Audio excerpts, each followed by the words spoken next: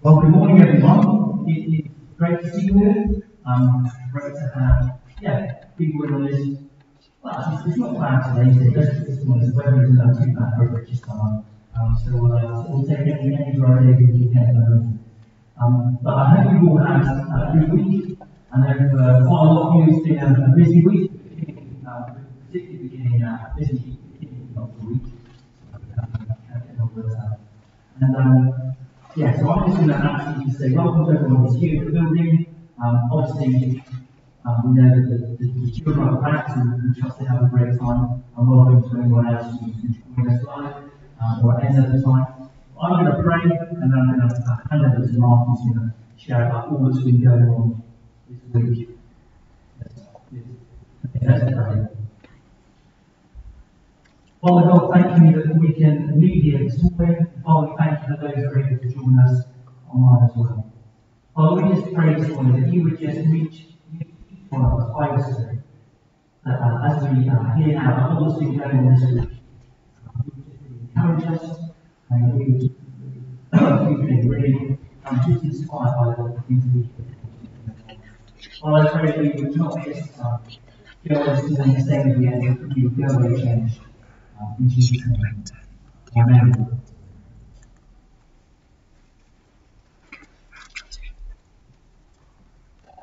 Good morning.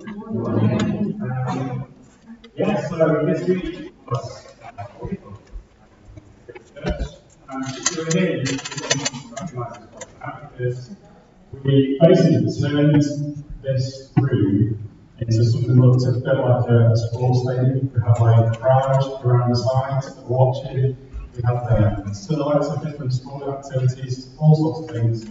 And we had a running track. That's how cool it was.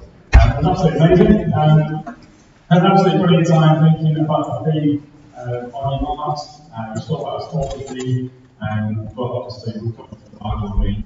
To, um, things from the Bible too, which was thing. Um, but it's all well and good me sort standing here and saying what an amazing time we've had, but um, I don't need to take my word for it, so we've got some new people who are going to come up and uh, share I'm going to ask them some questions anyway, so uh, don't be shy, guys. Come on.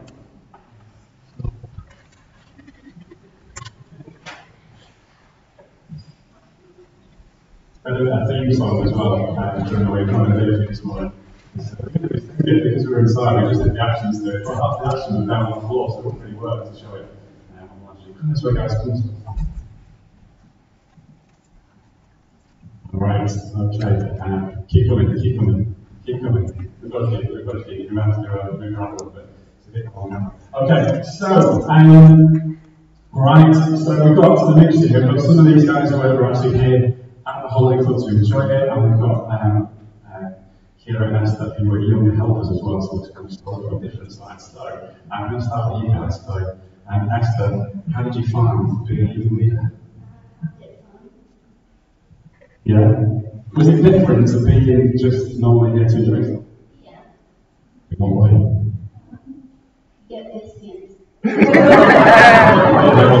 it's all about business. Okay. Um, Kira, now obviously um, we had a drama this week, didn't we? But I noticed actually when the drama was on, you stopped seeing to disappear with some of the little readers for a coffee break. So have a coffee break, is that alright? but strangely, like when you're all out for a coffee break, um, one of the characters looked suspiciously like you, but is, is that just a coincidence? Okay, okay. Probably say that Okay, guys, um, so perhaps if uh, Let's call it. Esther, if you just look around and come this way.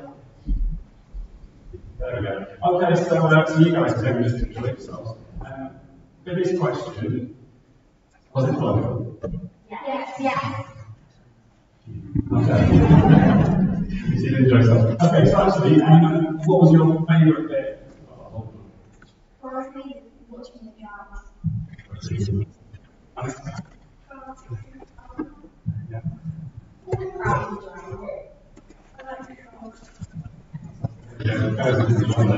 drums. Okay, um, now you've all mentioned crafts. Um, that's just some of the rules and things that So, um, Kate, what kind of things do you make during the Um, you make um, decorating bottles and Thank you for yours there. And how do you hold yours as well?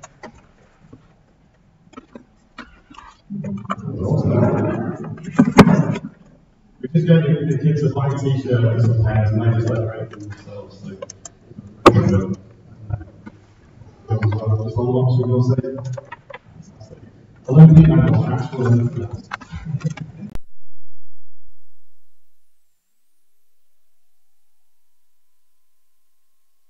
Can you tell us a little bit about what we spoke about during the week as well? Because we had some group times, didn't we? Where we got the Bible open. Can you remember what we spoke about? So, Emily, what did we? Um, the first day was about the 12 disciples, and then the next day was about Peter and the storm, and then the last day was about sowing the seeds. Fantastic. And um, have any of you guys got anything that was particularly memorable from that that you've learned or that you're going to remember from the week? Like when we were learning about sowing the seeds because it was like fun relating um, the parable to real life. Like what in the parable was us. Fantastic. Great stuff. And uh, Noah, did you did anything stand out for you during the week from that? I liked when um, Peter lost his faith, um, so Jesus um, like stopped um, giving his power to Peter to, and he started sinking. But then Jesus um, pulled him out of the water again. Yeah, it was brilliant, wasn't it? Um, even though Peter took his eyes off Jesus, Jesus was still there, wasn't he? So that was amazing. Fantastic. Okay, um, brilliant. Well, thanks ever so much, guys. Um, I'm really glad you've enjoyed yourselves and you've learned a good few things as well. Um, yeah, I think we'll, we'll wrap that up there. I'm going to hand back to Sean. We're going to go and enjoy ourselves out the back now.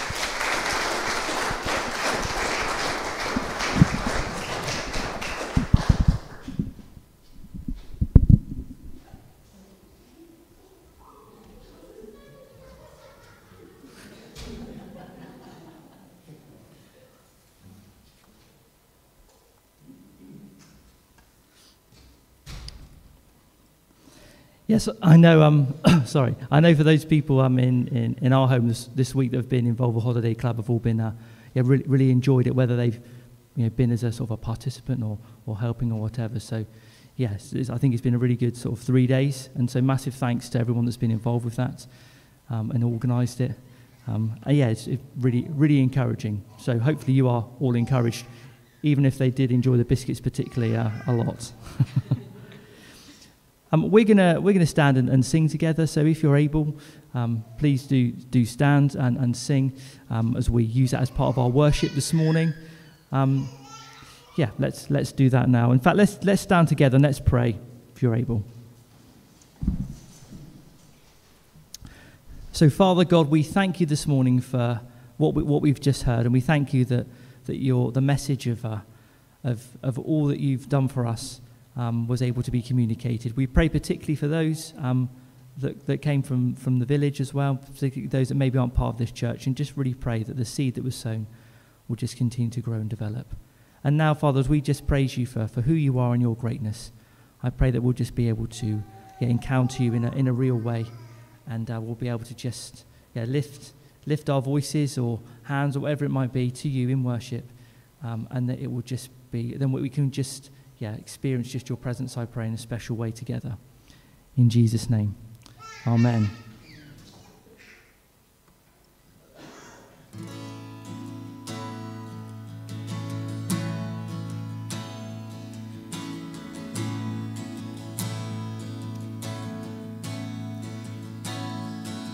The splendor of the King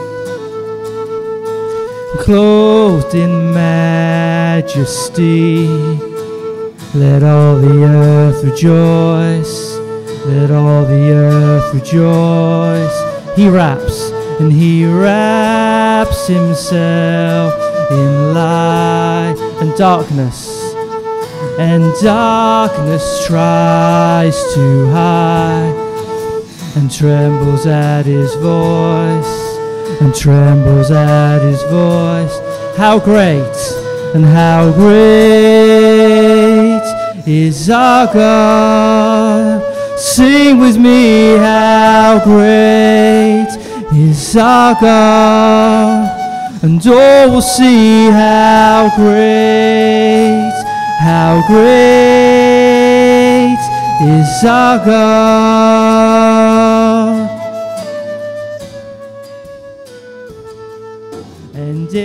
To age he stands, and time is in his hands, beginning and the end, beginning and the end.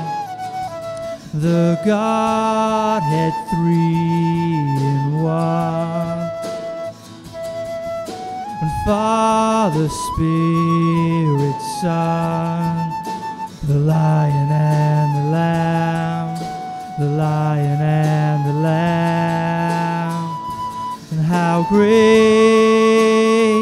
is our God! Sing with me, how great is our God! And all will see how great, how great is our God. A name above all names. You are worthy of all praise. And my heart will sing how great is our God. Name above all names. A name above all names. You are worthy of all praise. And my heart will sing how great is our God. And how great is our God. Sing with me, how great is our God. And all will see how great, how great is our God.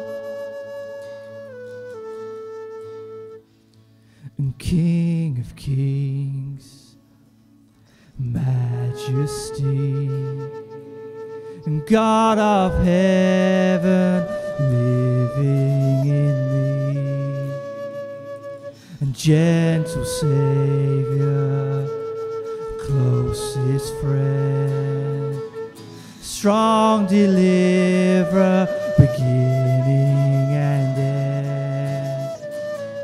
All within me falls at your throne, your majesty. I can but bow.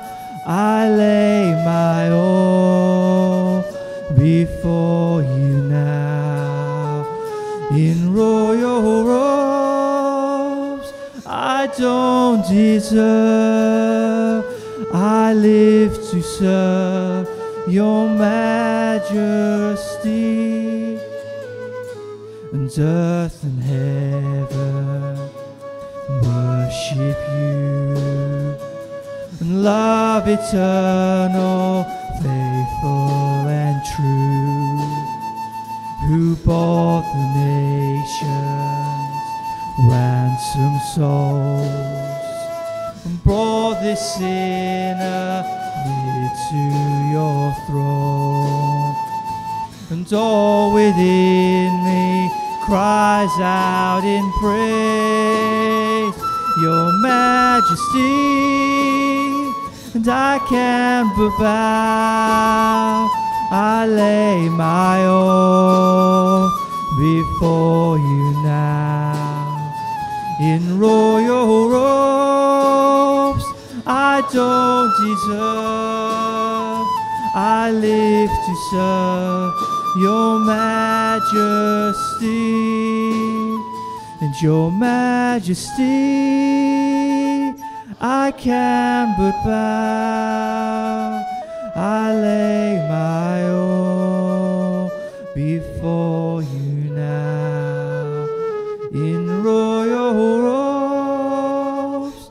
I don't deserve. I live to serve majesty.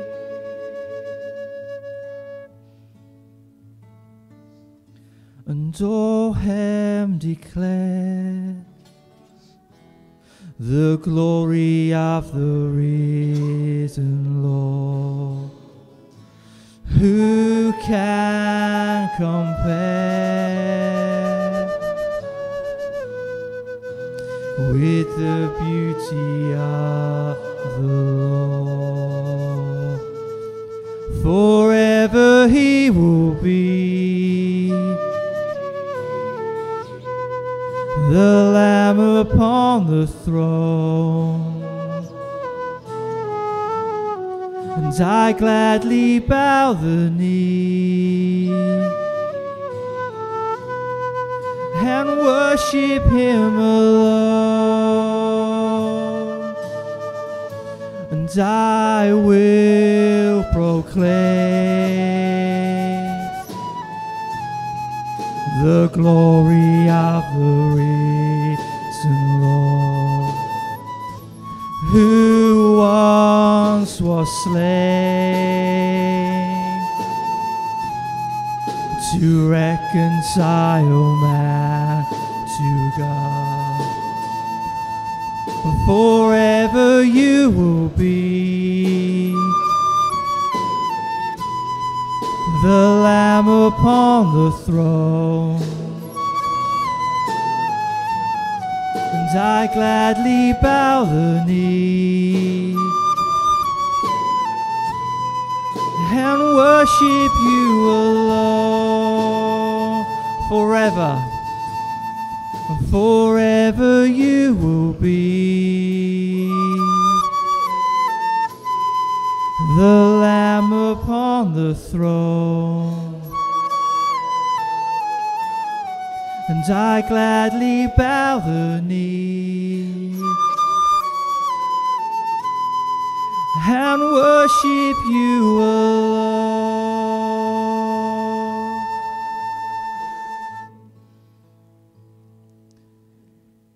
Yes, thank you, Father God, that this morning we can freely declare, along with heaven, that forever you will be the Lamb upon the throne, that you took all our sin and our shame for us, so that we could be with you one day in heaven. We thank you for that promise and that we can declare that this morning in Jesus' name.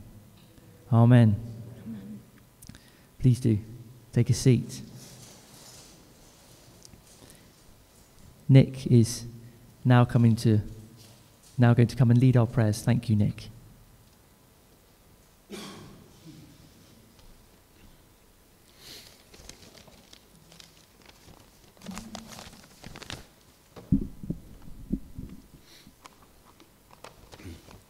Let's pray.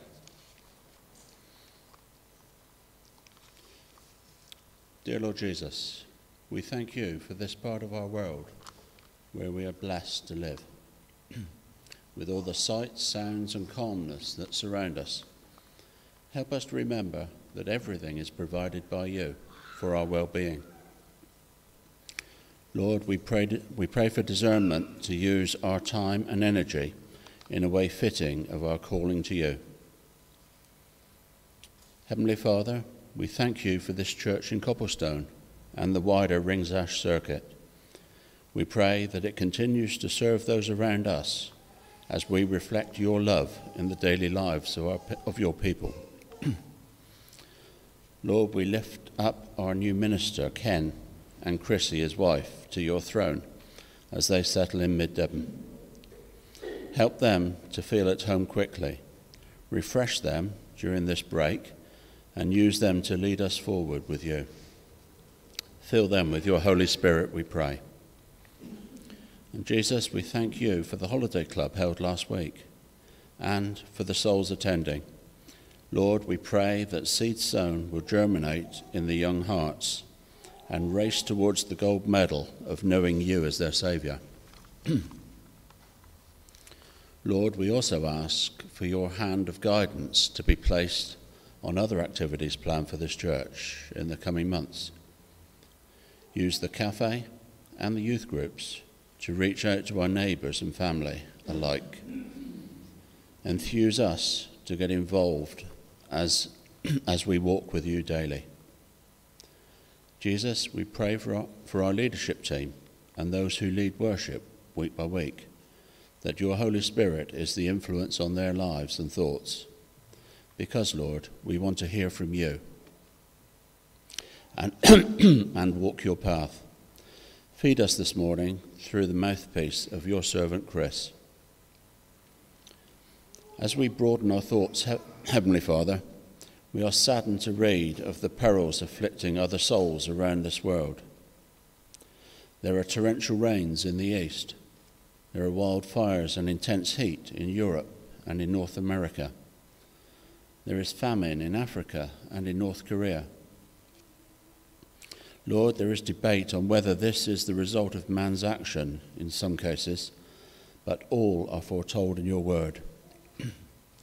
Help us, Lord, to, to relieve suffering through direct or indirect action. Use our politicians to adopt policy and spend wisely so that we, the blessed, can help those in need.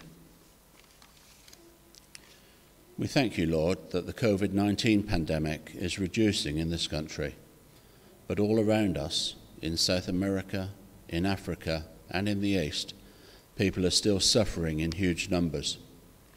Help the medical agencies and the politicians to reach out with vaccines and care to help those in need. The current topic of the day, Lord, is the civil war in Afghanistan. We don't understand political decisions sometimes, and now it seems the evil one is pouring out wrath and suffering on innocent people in that country again. Lord, show our politicians how to intervene, how to protect innocent lives, and thwart the desires of the evil one. Finally, Lord, we are dismayed to hear of the mass shooting in Plymouth and pray God of compassion and love, let your peace rest gently on the people of Keyham, and particularly on those who have lost family, friends, and neighbours. Watch over them in their grief. Keep this community safe as it seeks time to heal and neighbours rebuild their lives in friendship, trust, and hope. All for Jesus Christ's sake. Amen.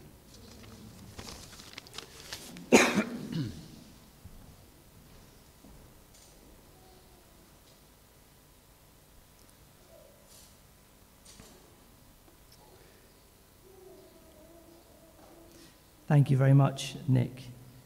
Um, there are two readings this morning.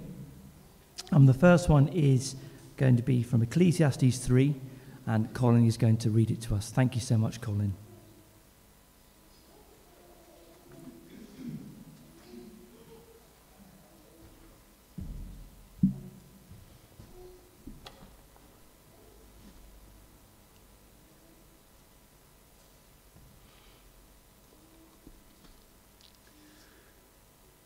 There is a time for everything and a season for every activity under heaven a time to be born and a time to die, a time to plant and a time to uproot, a time to kill and a time to heal, a time to tear down and a time, time to build, time to weep and a time to laugh, a time to mourn and a time to dance, a time to scatter stones and a time to gather them, a time to embrace and a time to refrain, a time to search and a time to give up, a time to keep and a time to throw away, a time to tear and a time to mend, a time to be silent and a time to speak, a time to love and a time to hate, a time for war and a time for peace.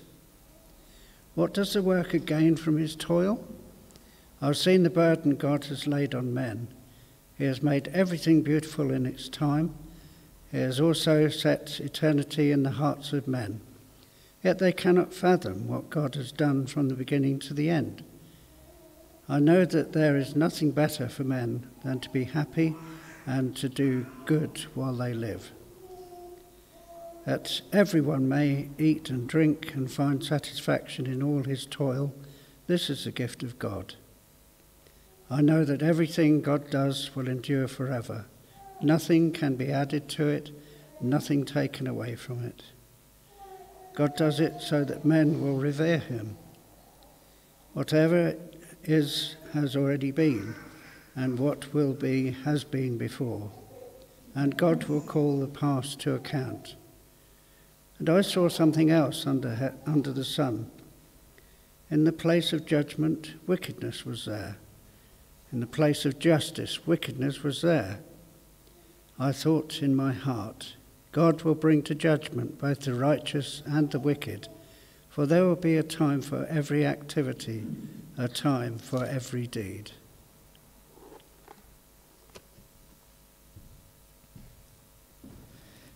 Thank you, Colin. And the second reading is from Mark chapter 13, starting at verse 5. Jesus said to them, Watch out that no one deceives you. Many will come in my name, claiming, I am he, and will deceive many. When you hear of wars and rumors of wars, do not be alarmed. Such things must happen, but the end is still to come. Nation will rise against nation, and kingdom against kingdom. There will be earthquakes in various places and famines. These are the beginning of birth pains. You must be on your guard. You will be handed over to the local councils and flogged in the synagogues. On account of me, you will stand before governors and kings as witnesses to them.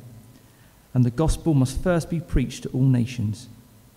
Whenever you are arrested and brought to trial, do not worry beforehand about what to say. Just say whatever is given you at the time. For it is not you speaking, but the Holy Spirit. Brother will betray brother to death, and a father his child. Children will rebel against their parents and have them put to death. All men will hate you because of me, but he who stands firm to the end will be saved. And then going to um, verse 24. But in those days, following that distress, the sun will be darkened, and the moon will not give its light. The stars will fall from the sky, and the heavenly bodies will be shaken. At that time, men will see the Son of Man coming in the clouds with great power and glory. And he will send his angels and gather his elect from the four winds, from the ends of the earth to the ends of the heavens. Now learn this lesson from the fig tree. As soon as its twigs get tender and its leaves come out, you will know that summer is near. Even so, when you see these things happening, you will know that it is near, right at the door. I tell you the truth, this generation will certainly not pass away until all these things have happened. Heaven and earth will pass away, but my words will never pass away.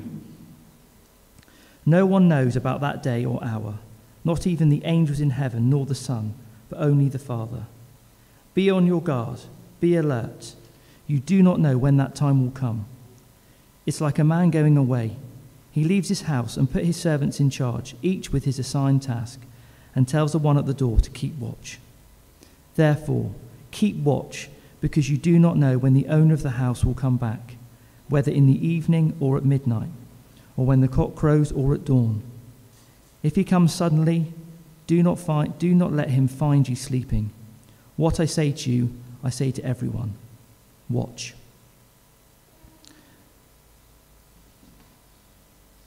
And we ask that God will speak clearly through his word as Chris comes to bring his message shortly. Um, but before he does that, we're going to, we're going to stand and sing um, Beyond this lifetime, beyond this darkness, there's light.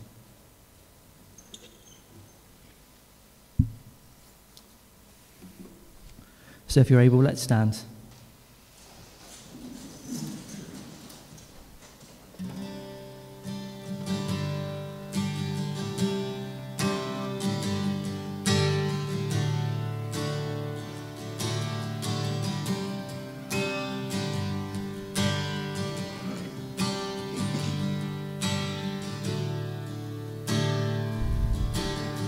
and beyond this lifetime beyond this darkness, there's light.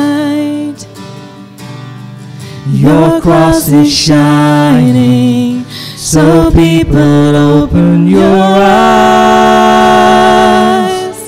And the cross stands above it all, burning bright in this life. The cross towers over it all. One hope, one deliverer, Savior reigning high above it all, above it all.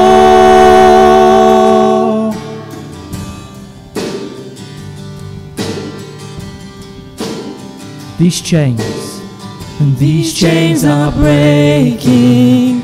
Your love is shaking us free.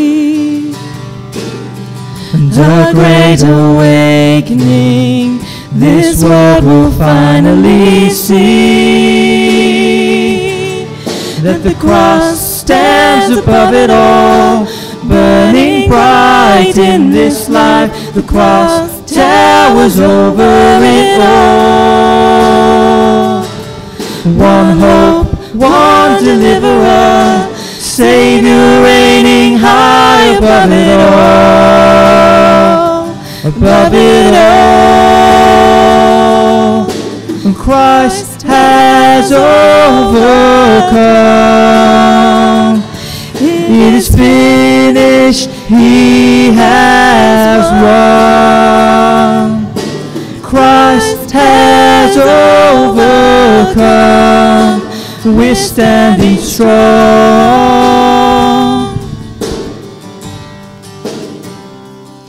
And the cross stands above it all, burning bright in this life. The cross towers over it all. One hope, one deliverer, Savior reigning high above it all, above it all.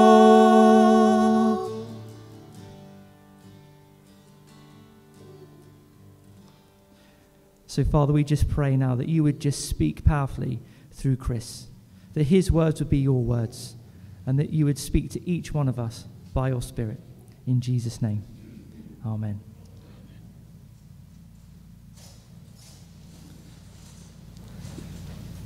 Well, good morning to you all. It's lovely to see you. I have to say, for the last 18 months, my experience of preaching has been to look at myself on a computer screen. So, seeing you is a good thing.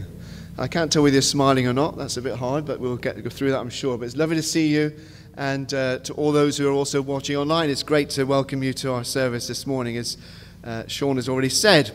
If I said the words to you, lateral flow, support bubble, local lockdown pinged or COVID 19 in August 2019, I think you would all have looked at me very strangely. But there's a, probably a good chance that if I use those words anywhere in the world right now, they would be understood. In just 24 months, our lives have been turned upside down. Time has been on my mind a lot in the last three weeks. Julie and I were able to cycle, this might shock some of you, from, Insto, uh, from Torrington to Instow and uh, then back again, and, uh, and able to take the beautiful view of the Torridge Estuary as you go down through. I'm sure some of you know it. Just about as you got to the signal box, to the old signal box at Instow, on one of the rough wooden benches there, someone had daubed in white paint these words Time and tide wait for no man. And it really struck me. It's been with me ever since, and that's what's led to uh, this morning's theme. And uh, it's true that by the time we sat at the uh, seafront at uh, Instow and had a Hocking's ice cream, no extra clotted cream, James, you'll be pleased to know, but uh, made our way back up to Torrington and then drove to Westward Ho and went for a swim. The side was right in against the Pebble Ridge, and one part of that uh, stating was actually proved to be true, that the tide was completely out as we went down, but by the time we'd arrived at Westward Ho, it was completely in. And so there's an, inevitability about tide, isn't there, as we go uh, by our seasides and see that movement of water, vast as it is, um, throughout the day. But what about the second part of that saying? What about time? that time waits for no man. Thomas Edison said this Time is not a commodity that can be stored for the future use. It must be invested hour by hour, or else it is gone forever. And a man by the name of Ralph W. Sockman, I'm not sure whether he sold them or not, but said, Time is a deposit each one of us has in the bank of God, and no one knows the balance. I'm quite relieved about that sometimes. There's 86,400 seconds in the day, 31,536,000 of them in a year. And over the last 60 years, we've probably seen the biggest movement forward of time saving and labor saving devices. And yet, it's true to say that most people complain more than ever uh, that they're short of time or that they're under pressure of time. And we even try to make or save time in vain. And the reading that uh, Colin shared with us this morning from Ecclesiastes was all about this thing time. It's an odd, strange thing, isn't it? We know that uh, time governs our lives, and it's something that we live by. If you're working, it's a big, important part of getting where you need to be at just the right time. But God, as we're reminded in His Word, is the Alpha and Omega, the beginning and the end. He's outside of the time that we understand, and yet we're used to living within the confines of it. In Romans 5, we read these words. You see, at just the right time, when we were still powerless, Christ died for the ungodly. That's the first time I want us to look at this morning. At just the right time. Why did Paul say that? He says it again in Galatians 4, verses 4 and 5. When the fullness of time had come, God sent forth his Son, born of a woman, born under the law, to redeem those who were under the law, so that we might receive adoptions as sons and daughters. Why was it the right time for Jesus to come? That's important, isn't it? Why did he come at that very moment in history? It wasn't so that our nativities could be particularly pretty or set out in a certain format. There must have been a reason. Well, I think there's two really important reasons. One is within the context of the, of the actual verses in Romans 5, and one is historical. You remember that at the time Jesus came, the Roman Empire was established. And prior to that, for 200 years, the Greek language had become the dominant language to be used and was adopted and used throughout that empire. So there was a single language which up until then had not been uh, used that was used to share the message, the good news that those first apostles and disciples took out into the world. You'll also remember if you drive around the UK, occasionally you'll come across, very occasionally, a straight piece of road. It's not many of them down here in the southwest, built by the Romans as part of the expansion of their empire. And it's amazing to think, isn't it, that those roads that were built to conquer and to oppress people became the routes by which the gospel was taken out to liberate and to free people from the sin that had enslaved them. And that wasn't possible. Road networks didn't exist. The Romans made that possible too. And of course, we're reminded that the Romans needed a census. And we remember those words at the beginning of our Christmas stories where we say, and a decree went out that Caesar Augustus uh, required everyone to go back to their towns of birth, where Jesus fulfilled the prophecy that he would be born in Bethlehem. Those historical factors were all present and all used by God as a means of getting the message out. And the world was desperate for the Messiah. The Jewish nation, as we know, was longing for it. So, historically, it's an amazing time for Jesus to be born. God used that opportunity uh, and used the circumstances within which they existed in order to be able to, uh, to fulfill his purposes. And he still does today, where we live right now. Spiritually, it was the right time as well. Paul says, first, Christ died for the ungodly. I'm thankful for that. He didn't wait for us uh, to become good enough for his love. The word um, that's actually used in the Greek, which I won't try and pronounce because I don't know Greek, um, simply says sickly. That's a good word, isn't it, to describe our state. We were so desperately in need of God's healing that we were feeble and sick. That's the position that we find ourselves in when God sent his Son, completely unable to fend for ourselves. Secondly, God proved his love by acting first. God took that first step of love. He stepped in to our situation when we couldn't get up to the level that he requires of each of us. He used that opportunity to demonstrate his love for us.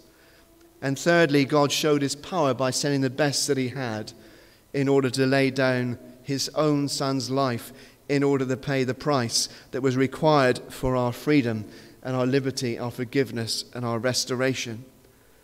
Those three things were necessary in order for us this morning to come and worship God as we are doing right now. So, what's our response? Because if there's something's happened, if someone's given something, as we thought about before, as we did in one of the children's talks during lockdown, uh, when you get given something, you've got the choice as to how you respond to that gift. And to me, it falls into three categories. We either reject God's love, having weighed up the evidence for ourselves. We reject God's love, having never considered the offer or the consequences of rejecting it. Or we thankfully and humbly accept the gift that's been given to us and accept Jesus as our Saviour and Lord. I don't personally have a problem with one and three. If people decide for themselves, having weighed of everything that they've chosen not to accept the God's gift, then that is something that each individual takes as their own responsibility. The one I have a problem with is the middle one. It's rejecting it without even considering it.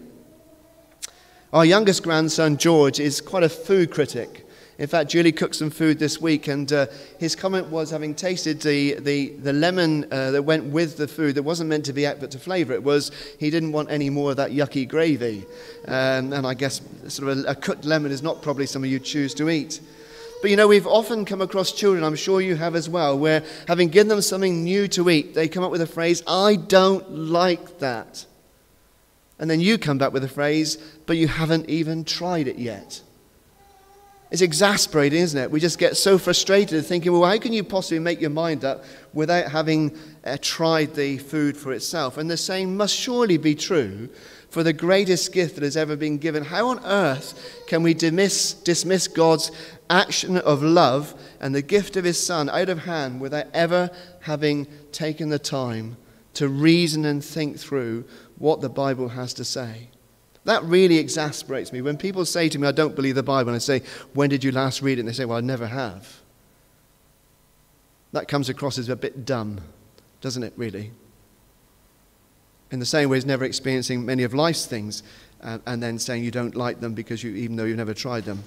C.S. Lewis put it this way, and I find this compelling. It really makes me stop in my tracks. I'm trying here to prevent anyone saying the really foolish thing that people often say about him I'm ready to accept Jesus as a great moral teacher, but I don't accept his claim to be God. That is the one thing we must not say. The man who is merely a man and said that sort of thing to, about Jesus, uh, that Jesus said, uh, that he was just a moral teacher, he would either be a lunatic on the level with a man who says he is a poached egg, or else he would be the devil of hell. You must make your choice. Either this man was and is the Son of God, or else he is a madman or something worse.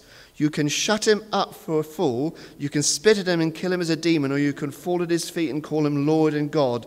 But let us not come with a patronizing nonsense about him being a great human teacher. He has not left that open to us. He did not intend to do so. There was no ambiguity about what Jesus said of himself. He didn't intend there to be. He said, I am the way, the truth, and the life. No one comes to the Father except by me. There's no doubt as to what Jesus was saying. He is the only way. He wasn't a moral teacher, he wasn't a good man. He either was mad, as C.S. Lewis said, or he was the Son of God. There is no middle ground.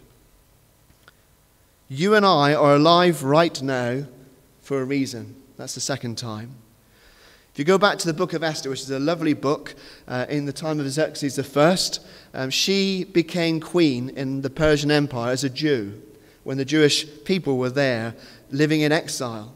Um, the story of how she became queen, you can go and read yourself. It's quite amazing. She came from the tribe of Benjamin, and uh, this was a time of great uh, difficulty. And she had lost her own parents and been adopted by her cousin Mordecai. And uh, she was in the royal court and had heard that there had been a trick played on the king to exterminate all of the Jewish people living in that kingdom both men, women, and children. All of them were to be put to death. The first Holocaust. That's what it was intended to be. And uh, dispatches were sent over and back. And Esther is made aware uh, that uh, this is about to happen. She's in this position of influence, and she says to her cousin, Look, all the king's officials and people in the royal provinces know all about what's about to happen, but no one can go into the presence of the king unless they're invited to do so. Because it will be certain death. And I've not been invited to go into his presence for 30 days. I can't go and reason with the king about this command that he set. And her cousin says this in a dispatch sent via her attendants Do not think that because you are in the king's house, you alone of all Jews will escape. For if you remain silent at this time, relief and deliverance for the Jews will arise from another place, but you and your father's family will perish. And who knows, but you, you have come to your royal position for such a time as this. In other words, Mordecai is chastening her and chastising her and saying, You are where you are right now because God has willed it. When we met as circuit stewards with Ken, our new minister, for the first time on Monday night, he prayed that prayer at the beginning of our time together. And I was already of a mindset as to what uh, to speak about uh, this morning, and it just confirmed it. You and I are where we are now because God has willed it. We're born into this generation at this time, in this place, because it's God's plan and purpose. And just like Esther, who did go on to risk her life and confront the king, and who did avoid that first Holocaust from happening, and that the person responsible was put to death, we have to decide whether we're going to be courageous and stand up and speak clearly what we believe and why we believe it, and live our lives as a testimony to God. Our job, our position, our location of where we live, our position of influence, the gifts that we've been given are all from God and are there for a purpose and for a reason. Six years ago, I was told that my adrenal glands uh, were packing up. Um, to be honest with you, I didn't know I had any, and I didn't know where they were, and I certainly didn't know what they did. Um, I did shortly afterwards. Tiny little things sat on top of your kidneys, in case you're wondering. I'm sure Sarah will be able to tell everyone that anyway, but that's where they were insignificant, out of sight, and as far as I knew, unimportant. And that might be how you feel this morning. But in God's plan for this church and for our community, you are, like those adrenal glands, vital, vital to God's purposes. The Bible says that we're part of one body, and if one part of the body doesn't function properly, then the other parts of the body suffer as a consequence. And as a spiritual church this morning, do not think somehow that you are second class or unimportant because you aren't here or you aren't leading worship or you aren't seen because that private telephone call, that little email of encouragement is as important in God's plans as anything that might be seen publicly. And I would urge you this morning, like Esther was urged by Mordecai, you are where you are at this time because God has willed it. Colin read to us in Ecclesiastes 7 there will be a time of judgment. There'll be two times of judgment as I read the Bible, and as I believe it clearly states. And uh, you read in Hebrews 9 just as people are destined to die once and after that to face judgment, so Christ was sacrificed once to take away the sins of many, and he will appear a second time, not to bear sin, but to bring salvation to those who are waiting for him. You may remember that in August 2019, Harry Dunn was killed outside a, a, US Air Force base when one of the people there was seen on CCTV to be driving on the wrong side of the road. Was interviewed shortly afterwards, admitted having been driving on the wrong side of the road, but then, through diplomatic immunity, escaped the country and still is at liberty in America at this time and has never faced justice. How do we feel? How does a family feel about that right now? Not revenge, but being held to account for choices and actions, even though they may have been made accidentally or unintentionally. God is a just God, and He will judge each person who has ever lived and will live. The Bible says. He cannot bear to look on unforgiven sin, otherwise, Jesus would not have needed to die. He's righteous, he has standards, and we're all called to give an account. Charles Stanley said Scripture declares that Jesus Christ will judge every person who has ever lived. Those who reject his offer of salvation face the white throne of judgment. the unbeliever's last stop before an eternity of exile from God's presence. Believers will also stand before Jesus, at which time they will finally come to a full comprehension of the extravagance of his grace. For the Christian, there are two judgments. The first one was on that cross, where Jesus took the punishment for our sin and was judged in our place. Man of sorrows, what a name for the Son of God who came, ruined sinners to reclaim. Hallelujah, what a Saviour, bearing shame and scoffing rude. In my place condemned he stood, sealed my pardon with his blood. Hallelujah, what a Saviour. Guilty, vile, and helpless we, spotless Lamb of God was he, full redemption. Can it be? Hallelujah. What a Saviour. Lifted up was he to die. It is finished was his cry. Now in heaven, exalted high. Hallelujah. What a Saviour. The other judgment is we will be called to give an account of what we've done with what we've been given. The Bible makes it clear in many parables that Jesus taught that we'll be asked to account for the gifts that we've been given and to be judged according to them. And the way I believe the Bible shows that is all the things that we've failed in our lives will be nailed to the cross and the price has been paid through what Jesus has done, and those things are written off. Beyond that, the things that we've achieved in God's name and in His grace and in His power then will be recognized at that time. For the person who doesn't believe, the person who's turned their back on God, the judgment is the worst place that I believe any human being could ever find themselves. Alone, unsupported, no advocate, no excuses. God's open opportunity for forgiveness, for restoration, for a relationship with Him, rejected and exiled from His presence for all eternity.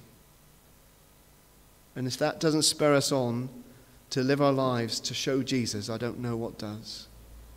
We need to get a fresh grasp of just how much we owe the Lord Jesus as Christians and how in peril those of our family and our friends and our colleagues are who don't yet know Him and help them to see Jesus, to give them the opportunity to make their own decision.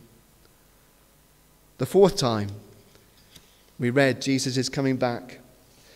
We don't know the day or the hour, neither does Jesus, neither does any of the angels, only the Father knows. When I was young, I lived in an eager expectation that it could happen that night. It was such the preaching was so focused on the second coming that it was something that I expected. In fact, when I came home from school one day and my mum and dad and my brother who was six years older wasn't there, I thought that they'd all been taken and I'd been left behind before I was a Christian.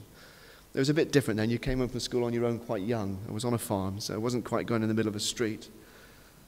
That was my first thought that I'd been left behind, and it was one of the reasons why I became a Christian, was the thought of being left on my own when my family were all Christians and I wasn't. In Isaiah 55, verse 6, uh, 6 and 13, it says, Seek the Lord while he may be found. Call on him while he is near. Let the wicked forsake their ways and the unrighteous their thoughts. Let them turn to the Lord, and he will have mercy on them. And to our God, he will freely pardon. And Hosea 10:12 says, "Sow righteousness for yourselves, reap the fruit of unfading love, and break up your unplowed ground, for it is time to seek the Lord until he comes and showers his righteousness upon you." If you are in Ilfracombe and you look up the tower of St. Peter and St. James's Church to see the time, if you're a tourist there, you'll see the words written, "It is time to seek the Lord." It's a great testimony that when anyone looks up, that's what it says. You may remember, you may still do with your grandchildren or your children, play hide and seek. And the phrase before you got to find them says this coming, ready or not. My challenge to you this morning is Jesus is coming back. We don't know when. He will take us by surprise. He's coming. Are you ready or are you not? If you're not this morning, the opportunity still exists to accept that the Lord Jesus died for you, that he gave his life for you, that he paid the price for the shortcomings that every single one of us has in our lives, that he made the way possible, by dying and then coming back from the grave and living victorious. And one day when he returns, he will gather those who love him. Don't be left out. Don't be found unprepared. Be prepared. And in the meantime, live a life in the relationship with a living God, not in existence, but life in all its fullness. I pray this morning that we will be ready and that when the Lord Jesus comes, he'll welcome us as those who love him, who have a relationship with him, and who serve him. And everything we do will be for his glory. We are all here for a reason. We're all here at this time for a purpose. God has willed it. What we need to do is to ask him to reveal to us what it is. And sometimes when we are asked to do something in his name, we say, I can't. All we need to substitute is, but God, you can. Amen.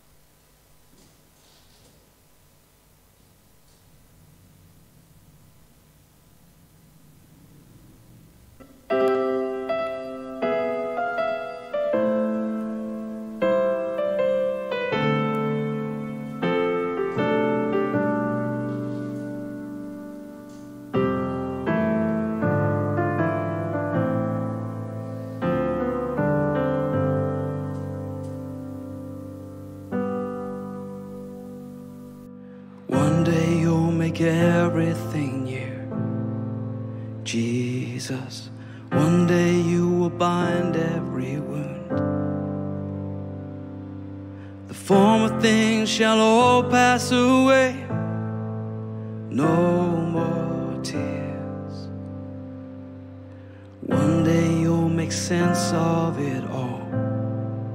Jesus, one day every question resolved. Every anxious thought left behind. No more fear. And when we all get to heaven, what a day rejoicing that will be when we all see Jesus, we'll sing and shout the victory.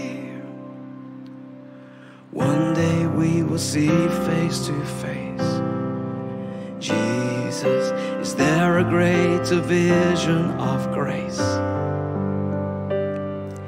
And in a moment we shall be changed on that day. And one day we'll be free, free indeed. Jesus, one day all the struggle will cease. And we will see your glory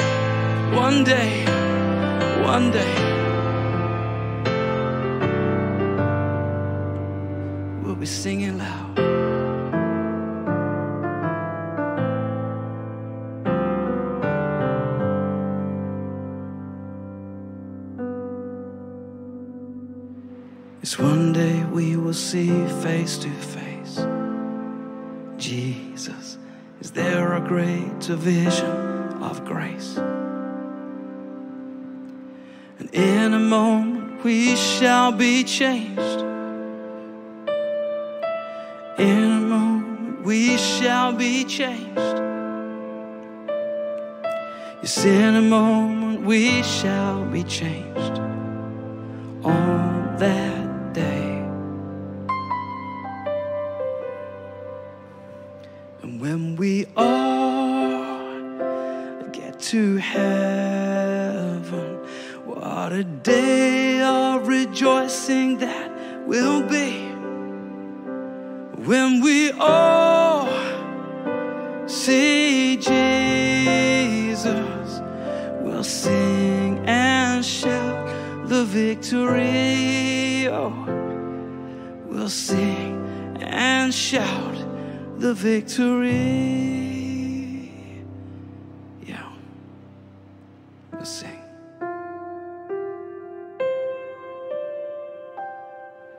No more shame, no more struggle. No more walking through the valley of the shadow. No cancer, no depression. No unanswered questions, no more searching. For we will see your glory. We will see the glory of your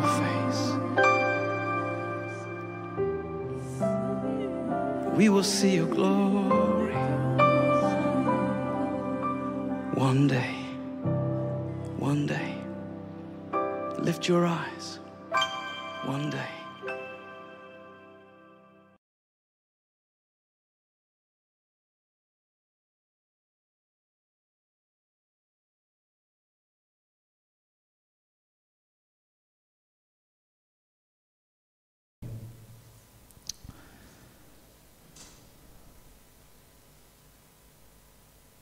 Father God, I pray and ask this morning that you would show us your will, your, your way for our lives. Father, sometimes we can be, or we can get so busy and end up with our time being consumed so easily. So, Father, I just pray for each one of us that we will have, or we will make that time so we can just seek your face and seek your will for our lives. Father, I pray you will give us opportunities with our time to be able to share your love, share that gospel message, message with those that, that we know, that we meet. And Father, I pray that we can just continue to hold on to that hope, that one day we will be with you in heaven. One day we will see you face to face. Is there a better vision of grace as we've just heard there?